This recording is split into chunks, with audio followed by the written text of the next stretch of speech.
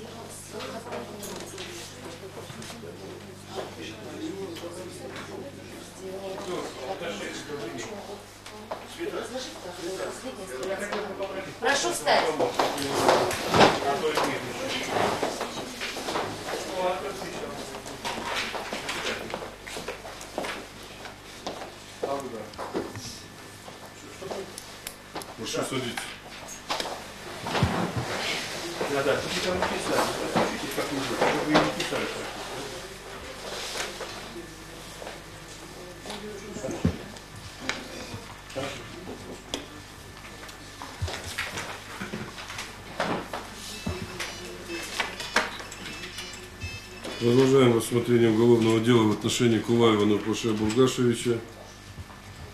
Обвиняемого в совершении преступлений, предусмотренных статьями 209 частью 2, 205 частью 3, частью 3, 206 частью 3, 105 частью 2 пунктами А, В, Д, Е, Ж, З, 30 частью 3, 105 частью 2 пунктами А, В, Д, Е, Ж, З, 317, 222 частью 3 Уголовного кодекса Российской Федерации. Прошу секретаря доложить о явке участников процесса. В судебное заседание явились потерпевшая Хусонова, потерпевшая Мецеева, свидетели Ушаков и Букоев. Остальные вызваны лица не по неизвестной причине.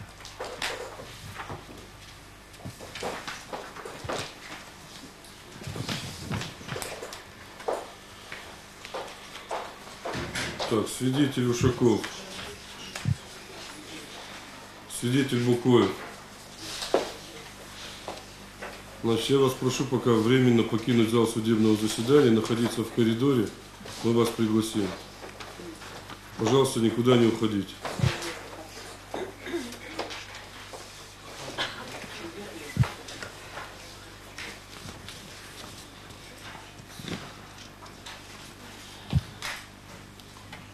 Объявляется состав суда, председательствующий судья Верховного суда Гузаров. Обвинение представлено в лице заместителя генерального прокурора, государственного советника юстиции первого класса Шепеля, старшего прокурора отдела управления Генеральной прокуратуры, старшего советника юстиции Семисыновой, заместителя, генераль... заместителя прокурора Республики Северная Осетия Лани Черчесова, адвокат подсудимого Кулаева Плиев, представители потерпевших Чеджемов Кочиев, потерпевшие явились в суд, секретарь судебного заседания Кохан. Потерпевшая Хасонова, встаньте, пожалуйста. У вас есть отвод состава суда? Спасибо, присаживайтесь. Потерпевшая Медзыева. У вас есть отвод состава суда? Спасибо, присаживайтесь. В соответствии со статьей 268 Уголовно-процессуального кодекса потерпевшим разъясняются их права, предусмотренные статьей 42 Уголовно-процессуального кодекса. Вы вправе знать о предельном обвинении, давать показания, отказать свидетельствовать против самого себя, пользоваться переводчиком, иметь представителя, знакомиться с постановлениями о назначении экспертиз, заключениями, участвовать в судебном разбирательстве уголовного дела в суде первой и второй надзорной инстанции, выступать в судебных прениях, поддерживать обвинения, знакомиться с протоколом судебного заседания и подавать на него свои замечания, приносить жалобы на действия и бездействие суда, обжаловать приговор постановления определения суда, знать о принесенных по уголовному делу жалобах и представлениях, подавать на них свои возражения. Не вправе уклоняться от явки по вызову в суд, давать ложные показания, отказываться от дачи показаний. Потерпевшая Хасонова. Встаньте, пожалуйста. Вам ясны ваши права? Спасибо, присаживайтесь. Потерпевшая Медзиева. Вам ясны ваши права? Спасибо, присаживайтесь.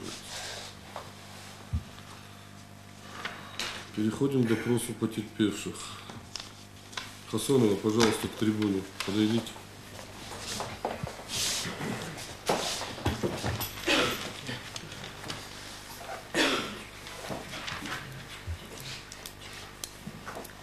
Назовите, пожалуйста, полностью фамилию, имя, отчество. Усонова Фатима Турбековна.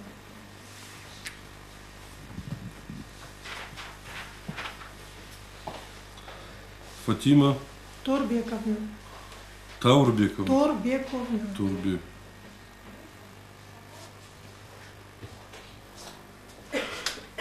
Число, месяц, год рождения. 14 июня 1956 год.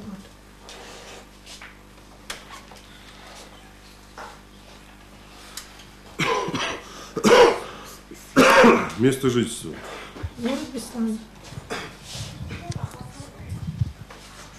Место работы. Не работает. Город Беслан, улица Набережная 55. Набережная 55. да. Фатима Тарбековна, суд предупреждает вас об уголовной ответственности за дачу ложных показаний, отказ от дачи показаний. Пожалуйста, дайте подписку суда.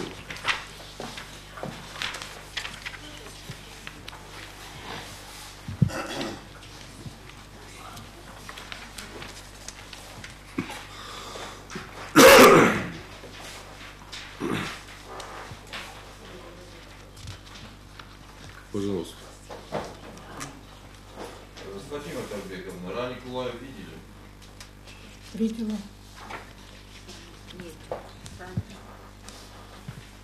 Э, Коротко, где вы его видели? В школе его видела. Так, тогда этот, расскажите, вот при каких обстоятельствах, обстоятельствах вы оказались заложником, с кем вы там находились, и вот. Все это расскажите пока. Девочка оказалась заложника. Ученицей второго класса. Рассказать, как пришла в школу? Да, да, да. Ну, пришли мы самого за начала 15. Данные дочери сразу. Хусонова Зараса Зелимхановна. 96 год рождения.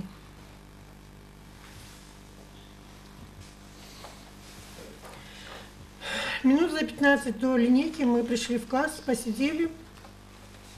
Предварительно учительница, ну, с учителем поговорили и пошли на линейку. Очень мало времени прошло, я уже не помню сколько, но вдруг э, там раздались выстрелы. Я оглянулась, увидела одного из них в маске, без маски, а остальные, наверное, были в маске, я уже за- ними не наблюдала. Я даже не знаю, сколько их было, потому что меня интересовала только моя дочь. И вот толпа сразу как-то это, ну, испугалась, и паника, и вот я боялась ее упустить, и поймала девочку. Я, я не видела, сколько их было человек, но я так поняла, что нас загоняли вот, э, где вот э, выход со спортзала туда. И вот э, все, ну, вот вся толпа туда вот ринулась, и вот я девочку держала, и я не видела, сколько их было. Но нас стали в окна, в дверь, в здание школы. В здании школы я думала, что только на улице эти вот эти в масках. Оказывается, их в школе было очень много. Они стояли вдоль стены и всех загоняли э, в зал. Когда нас загнали в зал, э, я даже в зале их не посчитала, потому что я наблюдала, наблюдала только за ребенком, как, как она себя ведет. Меня интересовало только ее состояние. Если бы даже их было двое, не 50, не 60, э, для меня это было достаточно, потому что ребенок очень испугался. Э, Они стали, я не скажу, что они суетились, торопились, они стали раскладывать вот эти, я не знаю, что это такое, ну, зеленые чемоданчики, вот чемоданы из пластика, я так думаю, Э, вдоль окон, там вот эти стали вешать. э,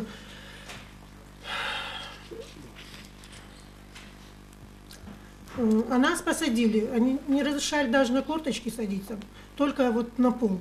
А естественно, на полу столько места не было. Но в этой панике я, конечно, их не считала, сколько их было. Я даже э, поймала себя на мысли, что я даже их лица описать не могу. Э, вот какие-то вот э, расплывчатые лица, какие-то вот... э, только я могу сказать, что у кого-то борода длиннее, у кого-то короче. Э, а сколько их э, на втором этаже или в коридоре, я не знаю. Но в зале их было человек 15. Из всех, кого мне э, показали с прокуратуры фотографии, я, конечно, не опознала.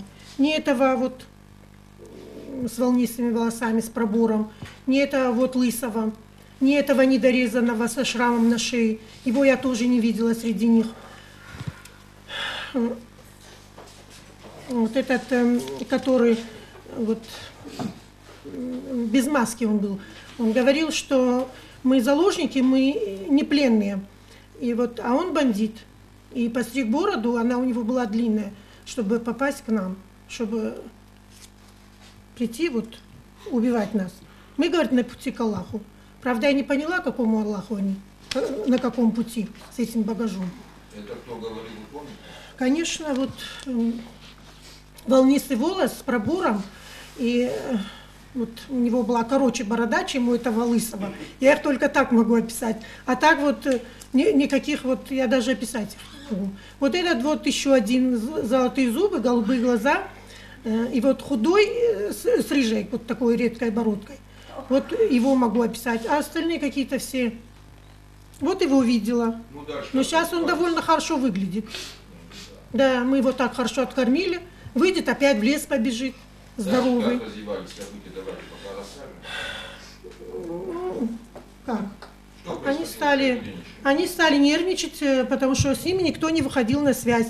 Они пытались эм, выйти на связь, но э, с ними никто не выходил на связь. Это, это мы точно знаем, потому что они э, при нас... э, Пока за первый день минирования кого-либо убивали, не убивали, как вас посадить, вот эти моменты пока расскажите, а потом последовательно дойдем к этому. Ну, посадили и э, стали взрослых выводить мужчин и э, старшеклассников. Старшекласс... э, мужчины э, стали вот тумбочки выносить, там телевизор вынесли. Они, наверное, думали, что они включат, чтобы мы посмотрели. Но когда не было никакой информации, они его нам не включили. А тумбочки выносили, они дверь на выход вот со спортзала закладывали. Потом мужчин увели и больше их не завели. Завели еще, по-моему, двоих, а остальных мы больше не видели. А старшеклассников э, завели. Э, И они сели на место, а потом ну, там что-то отнести, может быть, э, потом они окна вот эти наверху выбивали, поднимали старшеклассников.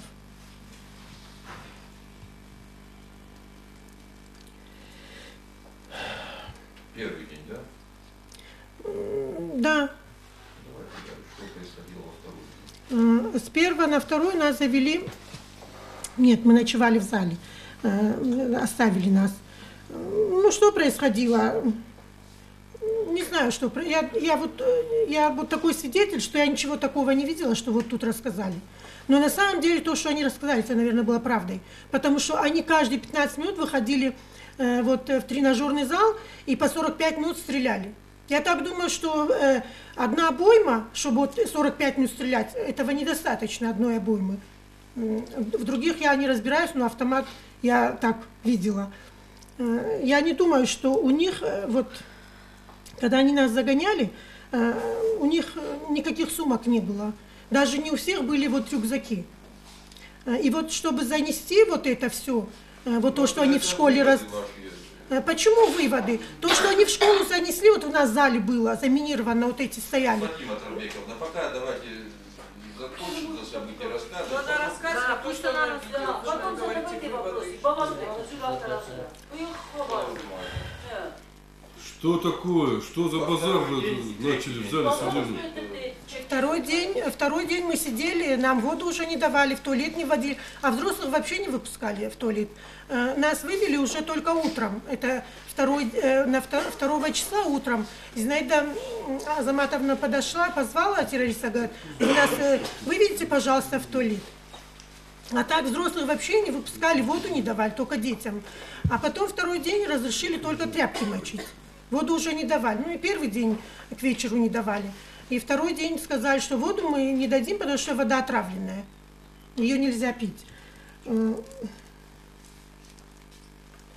Приход Аушева видели во второй день? Конечно, видела. Конечно, видела. Он зашел к нам в какой-то черной, вот э, только лицо было видно. Там больше ничего не видно было. И когда он зашел, они нас долго предупреждали, чтобы мы тихо сидели, потому что сейчас э, придет Аушев. Э, Конечно, меня это очень удивило, потому что кроме Аушева у нас есть еще другие депутаты. Есть у нас, наверное, э, я не думаю, что их старейшины тоже, они бы в стороне остались. Они никого не запустили, только Аушева. И когда Аушев зашел, они очень смирно себя вели. Я так по- поняла, что они его боялись. Потому что они автоматы опустили, они к, к нему подошли, э, очень смирные, э, не такие, как они без него были. Но я так поняла, что э, он у них главный. А из него тут героя делают. Описывают как герой, он вывел детей. Он, он свой, свой интерес какой-то э, представлял, наверное, он, не спе- он специально туда зашел. А детей вывел просто вот, чтобы сказать, что вот он помог нам. То, что, о чем он говорил, я, конечно, не слышала. Я немножко подальше сидела. Я не слышала, что он ему сказал. Ну давайте, если за второй день вам ничего больше сказали, третий день. Третий день началась паника. Э, И дети, и взрослые стали падать. Детей стали выносить уже. Тем не менее, они воду не давали. Даже тем детям, которые умирали, родители кричали, вот у меня девочка умирает, Э, там взрослые уже лежали, умирали. Они никому ни, во- ни воды не давали, не выпускали, но все-таки они как-то в коридор еще пытались ребенка вынести, хоть чтобы немножко ребенок подышал. И такая паника началась, что даже когда взрыв э, прогремел, я не удивилась, потому что э, к этому и шло как раз. Они тоже стали нервничать, э, э, но они тоже хотели жить. Они говорили, мы тоже хотим жить, нас дети ждут. Хотя первый день они были на пути к Аллаху, а третий день они жить захотели. Э,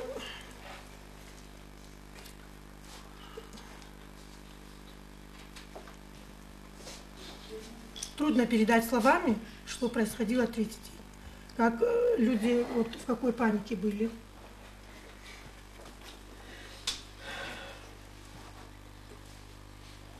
Помните, что взорвалось в день? Нет, вот прямо перед взрывом я, девочка все время у меня на руках сидела.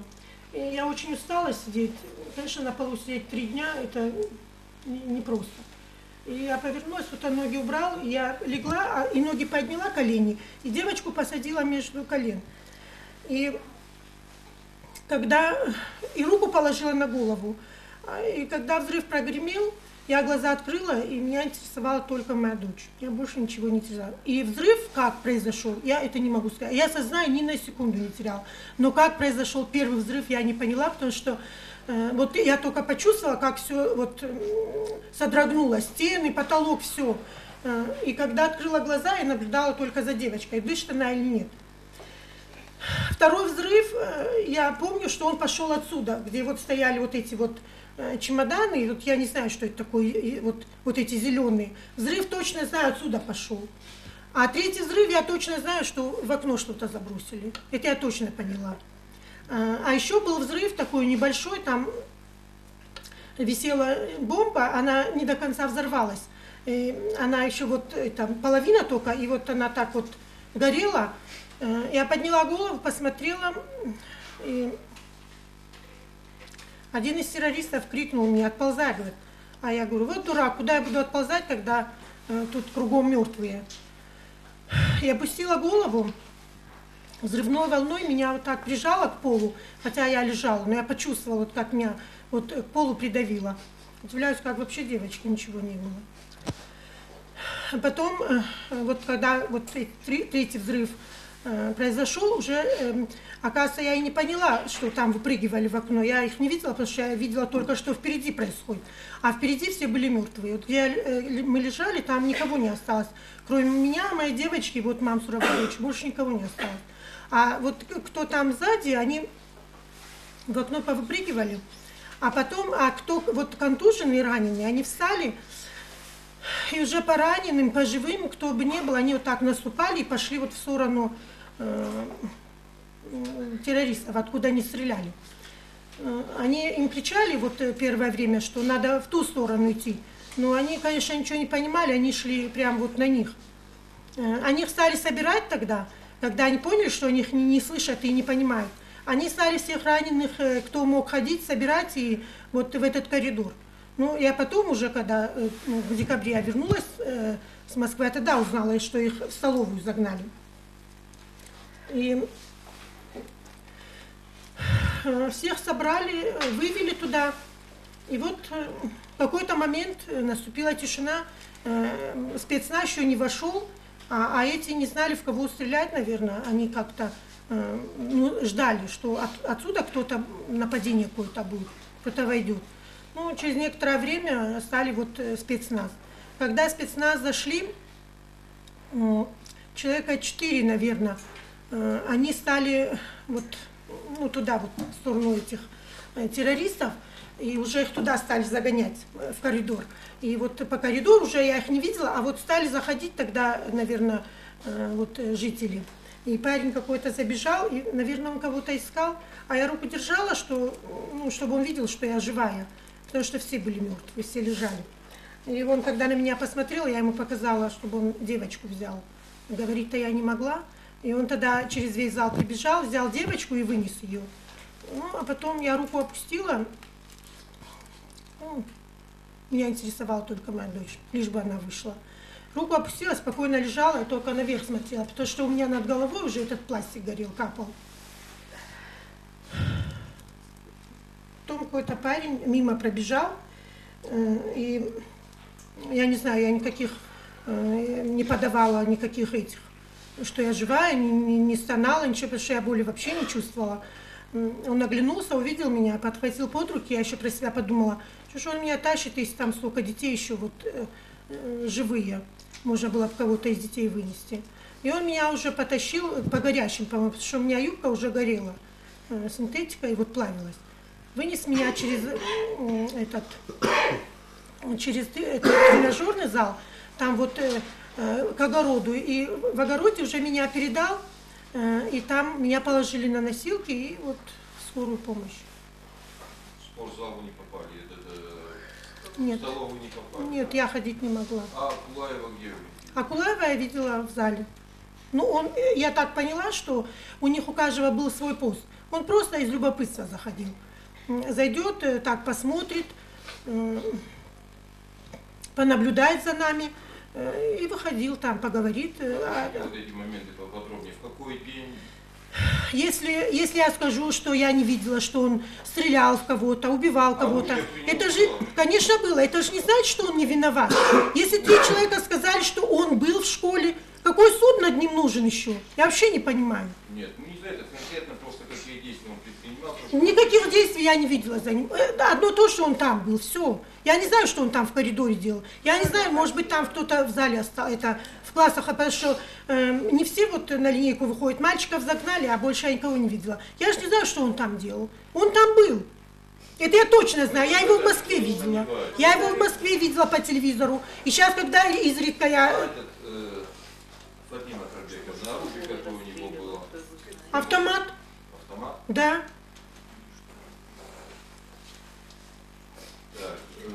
Такой вопрос. Вот вы говорили, что когда люди стали разбегаться после взрывов, боевики стали стрелять. Вот в кого они стреляли? Ну, Стреляли, я не знаю, в кого они стреляли, они же боялись.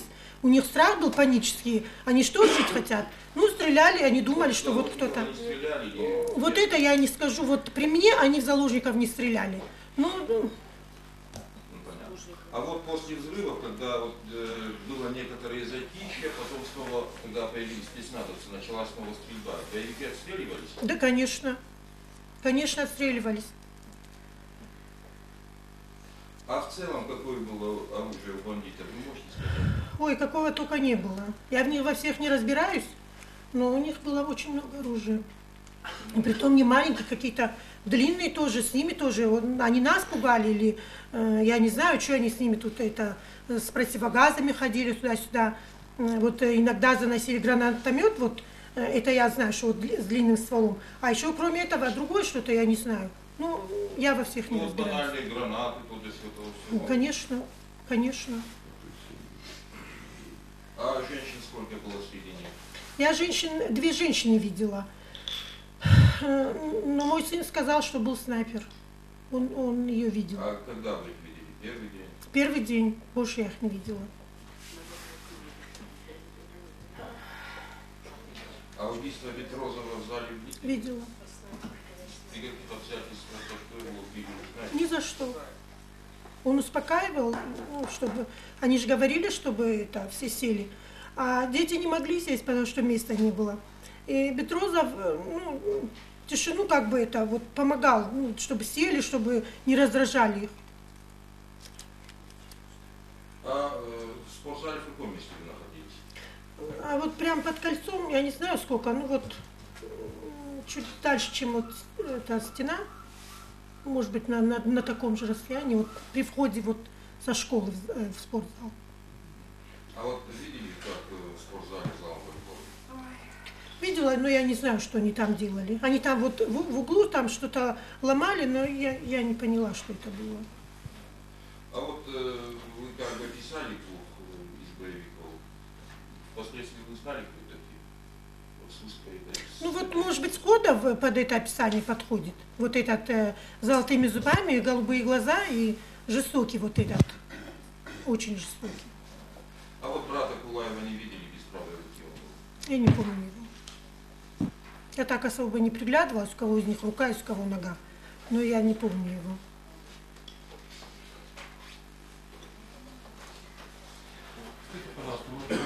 У вас одежда загорелась. Это при каких обстоятельствах? А, Одежда у меня горела или нет, я вам точно не скажу, но когда он меня вот под руки взял, вот э, потащил, уже после взрывов, да, уже я сама ходить не могла. Он меня потащил уже, по-моему, по горячим, потому что я чувствовала, что у меня юбка вот м, плавится.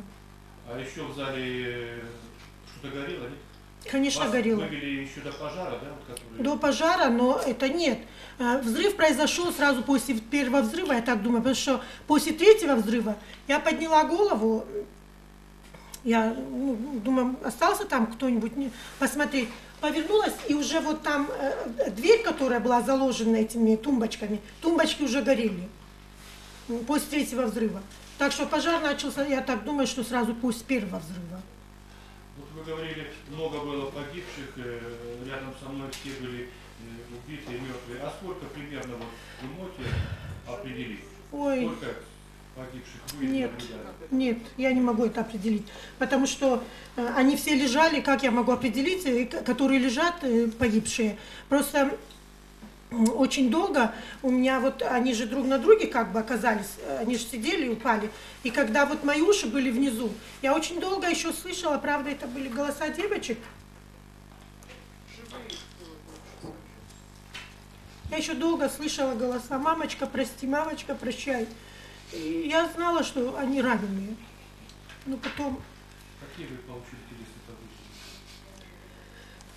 У меня были и ноги, и руки раненые, а все, все пули, вот, которые полетели, они у меня были в руке.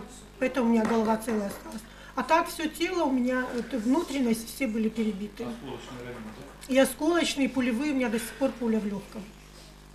И пулю я получила сразу после первого взрыва.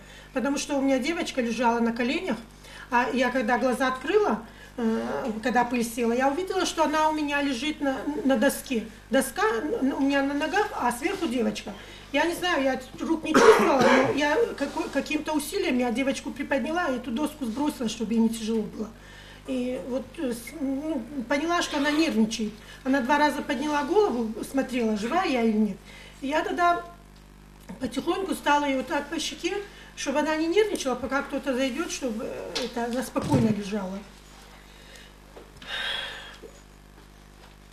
Скажите еще, вот вы говорите, что звери сберегли, что с ними переговоры не вели. А вы сами слышали вот телефонные Да. переговоры?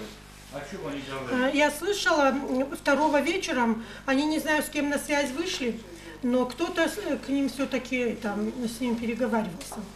И я только услышала, говорит, э, наверное, на том конце сказали, а что с мертвыми это будет? А, а этот говорит, вот, который с пробором, о мертвых потом поговорим. А этот, который вот лысый с бородой, вот без рукав майка, э, он стоял вот в дверях, и он говорит, э, и он ему показал, закрой, говорит. Мертвых, которых они увидели, да? Да, да, да, видели? да, да. И он закрыл телефон и даже не попрощался, ничего и вышел. А, ну, вот этот разговор, единственное, я слышала, потому что недалеко он стоял, поэтому я вот это слышала. А с мертвыми что это? А он говорит, о мертвых потом поговорим, я так думаю, да? А этот ему сказал, говорит, закрой. Он закрыл и вышел. Я не слышала, я не слышала, но он очень нервничал. Он несколько раз, э, наверное, там выходил на связь кто-то с ним, и он очень нервничал, потому что он сразу телефон отключал. Что-то ему не нравилось.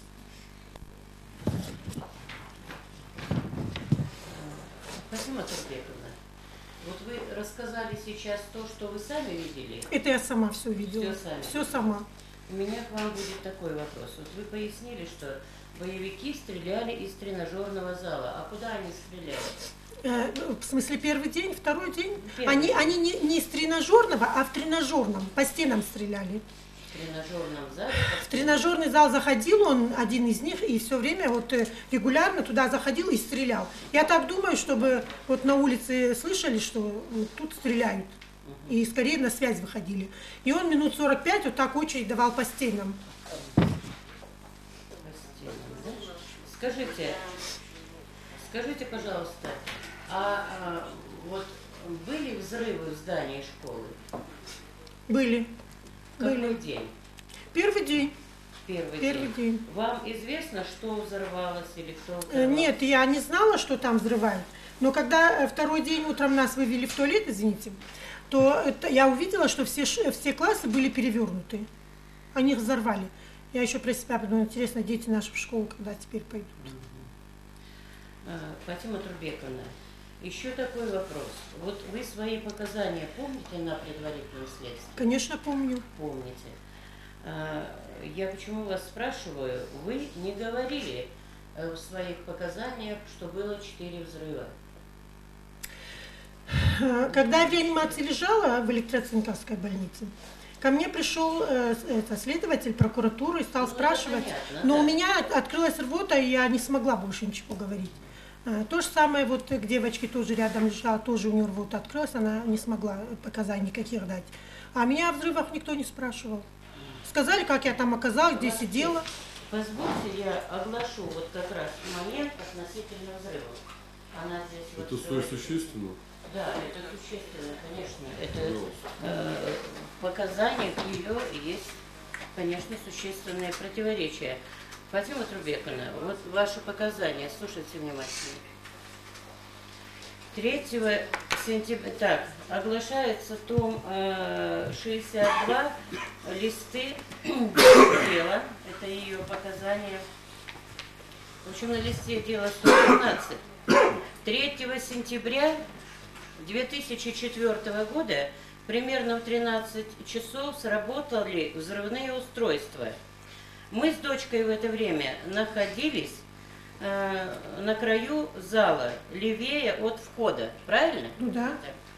От чего и в какой последовательности происходили взрывы, я сказать затрудняюсь.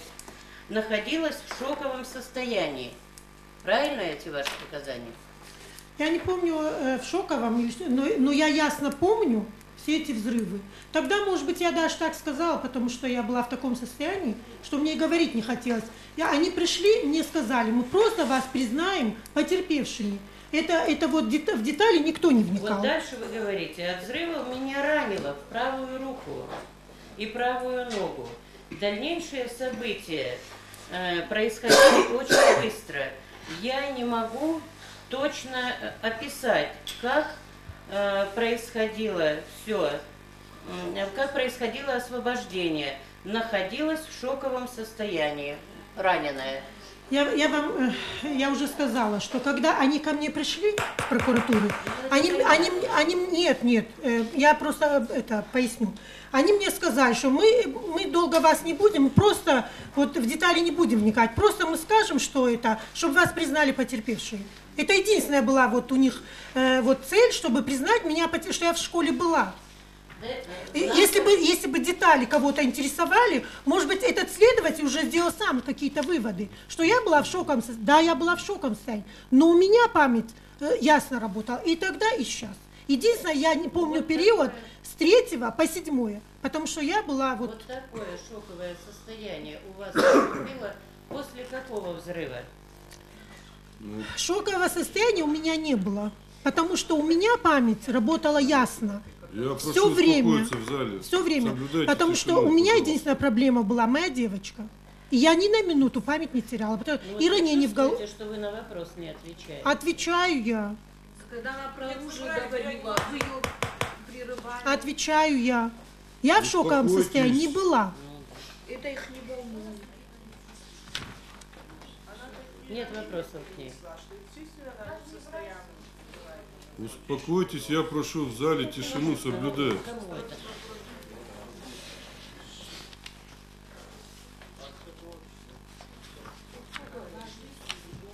Я прошу, я еще раз говорю, я прошу вас соблюдать тишину в зале. 12 даже. Пожалуйста. 12 да. октября вы были допрошены. Почти через полтора месяца. 12 октября к нам приходил в Москве Так, следователь. все. Вопрос Правильно. Я дал возможность представителю потерпевшего задавать вопрос. И я, я еще раз объясняю, что в и даже 12 октября мне никаких показаний не хотелось давать. Просто они, они пришли, опять-таки сказали, вот позвонили из Беслана, сказали, еще раз вас признать потерпевшими. Вы понимаете, что в таком положении, в таком вот, э, вот э, в такой вот это, они в детали не вникают. Им главное признать меня, где я сидела и, и кто вокруг меня сидел. Была ли я на самом деле в школе или нет. Это их только вот это интересовало. А детали их не интересовали. А я вам еще раз говорю, что с первого, вот с первого взрыва, вот с первой минуты, как я вышла из дому, я ни на минуту ничего не потеряла и ничего не забыла. Я в голову ранения не имела. Руки, ноги, внутренность, да, но голова у меня ясно работала до конца. И сейчас я прекрасно все понимаю.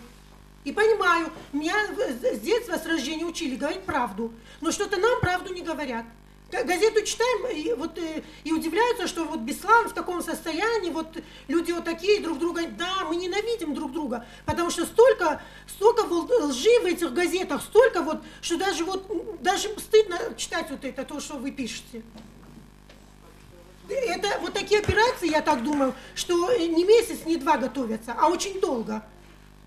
Потому что вот то, что там было, это не один день, не в один день занесли. А виноваты, кто не виноват, я сейчас не буду об этом говорить. Э, э, Есть специально люди, которые э, должны это выяснить. Да успокойтесь, ну, ну в конце концов, ну что это такое? Давайте уважать друг друга. Пожалуйста. Пожалуйста, успокойтесь, выслушайте вопрос. Давайте вернем- вернемся к первому сентября. Каковы были ваши впечатления от террористов? Вы думали о том, что они хотели, нет? Подробнее расскажите. Ну, конечно, с того, что они нервничали, так от с ними никто не выходил там на что, на связь, на переговоры. Когда нас загоняли, э? Да, в смысле, вот как они себя вели, да. Нет, они сначала не нервничали, а потом они стали нервничать от того, что к ним никто не выходит на связь. Они, они наверное, просто не ожидали, что вот э, с ними никто не свяжется, вот э, э, Это они... да? Да, да, конечно. Ну вот я, вот мы- мы сидим, и вот он заходит и говорит. Я вам вопросы буду помогать. да? М. Вот там разговор шел о числе заложников. Он зашел, да, он зашел и сказал, конечно, он зашел и сказал, вот сейчас, говорит, передали, что в школе всего 350 заложников. Вот мы сделаем все, чтобы у вас всего осталось 350 заложников. Ну, как вы это Ну, я так оценила, что они, я, я так думала, что они не, не смогут это сделать, потому что столько детей, как можно руку поднять на ребенка? Ну, внутренне я вот подсознании, я думала, что они не смогут это сделать, не сделают. Но они, по-моему, и сами не вы думали. поверили ли сегодня, вы верите в то, что говорили, что вас 350? Вас 350 там было? Конечно, нет. Ну а кто тогда и почему, как вы считаете, лгал? Почему ты ранее говорили по телевизору, что вас 354, а не 1200? Кто по-вашему Вот. это делал? Наше руководство, Зачем? чтобы паники, наверное, не было. Ну. Я не знаю, зачем это было сделано, но факт то, что это было на самом деле. Они несколько раз заходили и возмущались, что вот э, они не выходят, что они говорят, что нас 350, что вы, вы никому не нужны Выходят на связь, вы говорите, или на переговоры? на переговоры. Как уточните, на переговоры или на связь? Ну, Если на связь, на переговоры. Ну не надо, ну На я извиняюсь, переговоры. подождите, я, я прошу На прощения. переговоры. Я пообращаюсь к потерпевшим. Я вас прошу, дайте ей возможность самой. Ну не надо ее подсказывать, перебивать. Ну, пожалуйста, дайте ей возможность высказаться. Пожалуйста, Скажите, продолжайте. пожалуйста, вы считаете, кто-то должен был идти на переговоры?